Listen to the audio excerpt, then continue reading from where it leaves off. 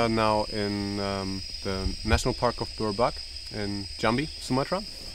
And we are now at the location of uh, the CIFOR site where we are carrying out our research for greenhouse gas emission monitoring. And I'm working over there, working on um, carbon stocks in above and below ground biomass and on um, root dynamics.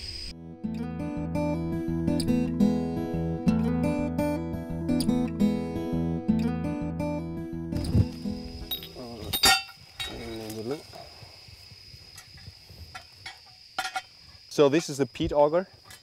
This is actually for sampling um, soil in, in peat swamp forest. It has this, this blade, it's movable. So what you do is you just, just put it straight into the soil uh, and that, then you turn it around, so twist it, then this, this closes, then you take it out and uh, you can just like take the soil sample. And this is pretty handy um, for me as well for installing my tubes because I need, need a like really nice hole. And uh, because the tubes um, have to be in the soil in the angle of 45 degrees um, because you want to have the whole picture. And um, when you just just put it in uh, vertically you might miss some roots. Uh, yeah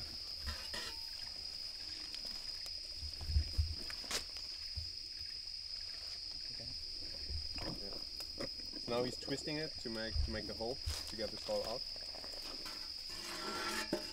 And you you already see it's like really moist and wet.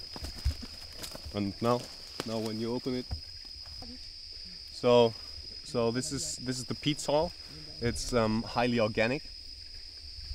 Um, like really little minerals in it. Um, most of the minerals come uh, from decomposed uh, um, leaves or decomposed um, roots. As you see, yeah, you can barely see them. They're really, really small. These are fine roots, roots uh, with a um, diameter less than two millimeters. And this is this is um, where most of the carbon is stored in, in these peat swamp ecosystems. Small little hole where the pipe goes in, and you already can see here that you have like these these root mat here, a lot of small little fine roots this is this is basically the pipe um, and um, has a cap. It's, it's, sealed at the bottom. It has a yellow line to be able to see um, where you want to, want to have your sample. Putting it inside. Uh, perhaps you want to you see when I when I push it in all the water is already coming out go smoothly inside. Um, this part is black because you don't want to want uh, sunlight coming into the tube, which which could have an effect on, on root growth. And you want to have it like really tight to the soil, that uh, there's no space in between. Um, let's check. Yeah, this tube is, is perfect. No water's coming in. Um, we have these um, these small little pipes to um, to make sure that to, to anchor it to make sure that the, the pipe is really stable into the soil and doesn't move. Because they will they will stay um, for at least uh, two years here on this side. And I will go after this six months waiting period where I come come back um, every second month. Um, I will come back every month to take uh, pictures. Um, and this continues for two years basically. And to make sure that um, this stays, we just take a little bit of wire and, and attach it so that this holds really tight on it. So this is the this is the cap. It uh, says um, Roman 1 for the, the transect, for the plot, and um, a 1 for, for the pipe. This basically comes, comes just, just on the tube to prevent that um, it gets flooded. And that's it. That's the, the tube installation.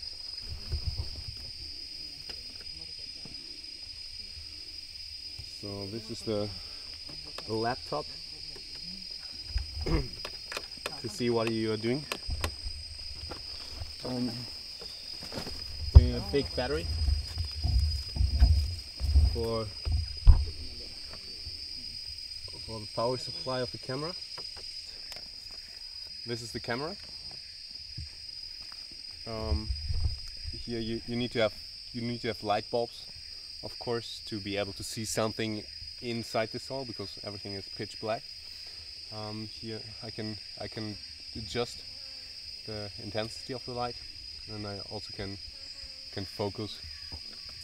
See the red, uh, so the yellow mark. I will ent enter into the tube now.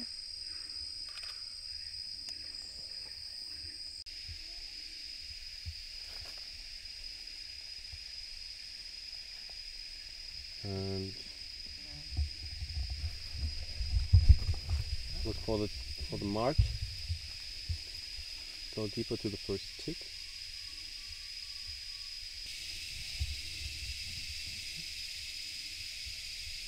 And here what you see, um, this is all the soil, and here you see see roots. These are all roots, and you can really follow this.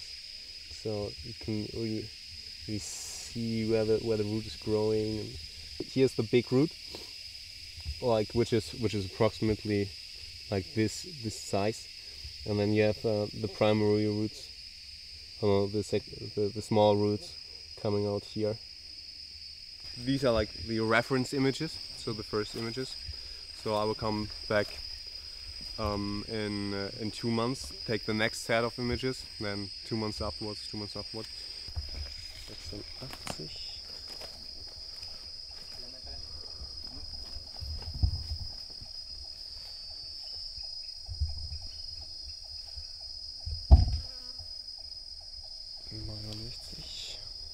So first um, we measure the height and then um, we measure two diameters. Um, one at the at the base kind of where in the in this example uh, you would measure it here like this is already 1 meter 30 and then a little bit more above 1.3 meters above to see um, see how it how it continues you have like a form factor so to say to, to calculate the vol- volume Oh iya yang Nah, Yang satu nih. ini Ini hitam. Ya ya. Nah, tidak ya Mati itu Pak. Mati satu tuh. ini sudah mati Nah, ya. Dia sudah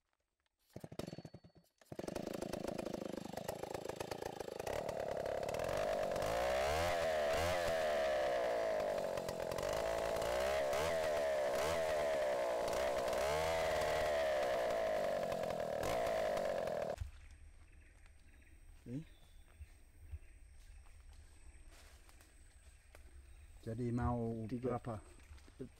Oh dua setengah senti ke atas.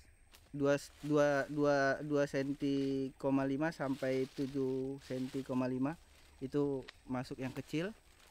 Yang tujuh setengah senti ke atas itu masuk yang besar. Um, so what we did in the last couple of days is uh, we collected some additional uh, litter samples and understory samples. Um, these needs to be dry, dried and weighed and grinded and analyzed for carbon as well.